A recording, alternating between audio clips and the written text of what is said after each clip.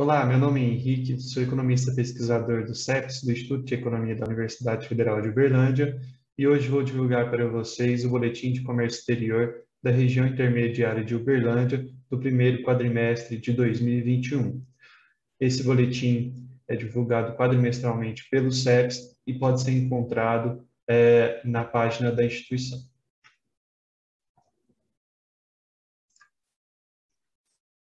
A região intermediária de Uberlândia compreende a três regiões é, imediatas é, e a 24 municípios que estão listados na tabela.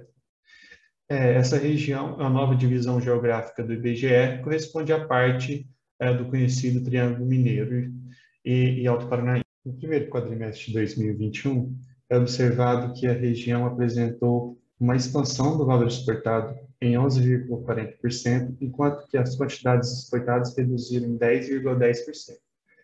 É, Destaca-se o fato de que o valor exportado no primeiro quadrimestre de 2021 foi o maior da série histórica que vai desde 1997.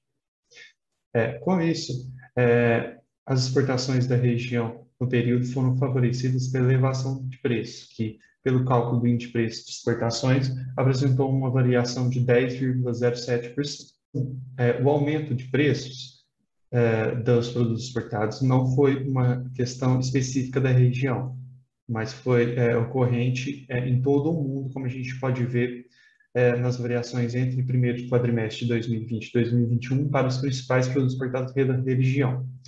É, um exemplo é o óleo de soja, que apresentou aumento de preço de 73,91% para essa commodity. Outro fator importante no período foi a desvalorização cambial, que foi de 4,67 reais por dólar no primeiro quadrimestre de 2020 para 5,50 reais por dólar no primeiro quadrimestre de 2021. Destaca-se também o fato de que a taxa de câmbio real efetiva para o agronegócio apresentou uma valorização, devido ao fato de que é, os preços é, internos apresentaram aumento é, superiores aos preços externos, fazendo com que a taxa de câmbio real efetiva apresentasse uma valorização no período. Em relação aos principais municípios exportadores, a gente vê aqui Uberlândia e Araguari foram os principais vetores de expansão das exportações no primeiro quadrimestre de 2021, além de ser os principais exportadores da região, congregando 87,12 do valor exportado no primeiro quadrimestre de 2021. Quanto aos principais produtos exportados pela região, a gente observa que a soja continua sendo é, é o principal, com 44,18% do valor exportado, mas que os principais produtos que puxaram essa elevação no período foram o café, a ração e óleo de soja. Café principalmente por Araguari, e ração, e, é, ração também por Araguari e óleo de soja pelo município de Uberlândia. Quanto aos principais destinos, a China continua sendo o principal é, comprador da região, adquirindo 50,45% do valor exportado no primeiro quadrimestre de 2021.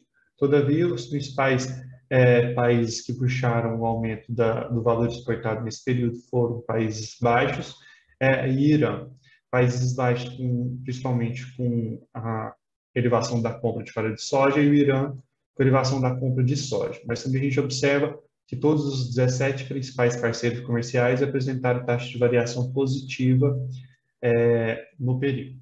A gente observa que mesmo sendo um período é, de continuidade da pandemia da Covid-19, que provocou impactos é, negativos sobre as economias do mundo, em que algumas das, delas já vêm se recuperando, é, as vendas externas da região no período apresentaram a expansão, sendo que o valor exportado nesse período foi superior a toda a série histórica que veio desde 1997. É, um ponto a chamar a atenção nesse resultado é que os principais produtos exportados pela região eles apresentam baixas elasticidades em relação a mudanças na demanda é, e no preço.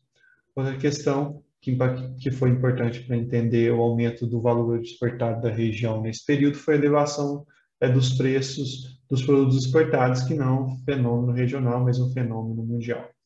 A taxa de câmbio também foi um vetor que reduziu é, os impactos negativos dos aumentos dos preços internos, fazendo com que é, essa desvalorização em relação ao primeiro quadrimestre de 2021 fosse um, vetor positivo para a expansão das exportações.